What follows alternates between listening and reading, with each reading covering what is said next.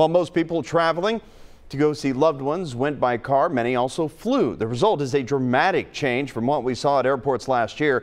TSA expects to screen about 20 million passengers during the Thanksgiving holiday period. That compares to 1 million people last year when we were still in the depths of the pandemic, of course. All of that means a lot more of emotional reunions, of course, at airports across the country. WCPO 9 News reporter Kendria LaFleur was at CVG tonight as families reunited for Thanksgiving.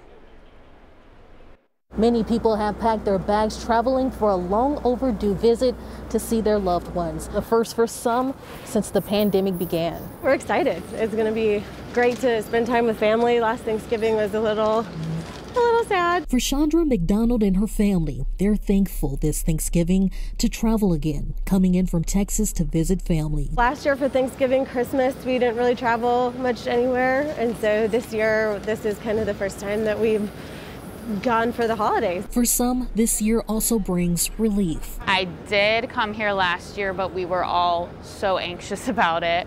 Um, you know, we quarantined beforehand and everything, but um, there was a lot of back and forth, like should we just cancel it, should we do it over Zoom? This year, all of us being vaccinated, most of us I think actually have had our booster, so um, much more relaxed for sure. AAA predicts 53.4 million people are traveling for the holiday, up 13% from 2020. It's a special time that's bringing reunions and a sense of normalcy. Seeing everyone being all together, it's going to be awesome. Reporting at CVG, Kendria LaFleur, WCPO 9 News.